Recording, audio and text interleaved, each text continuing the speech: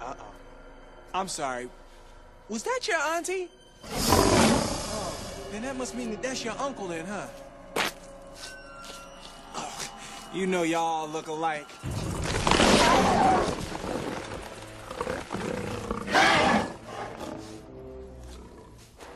Well, well. Big bad bug got a bit of a soft spot, huh?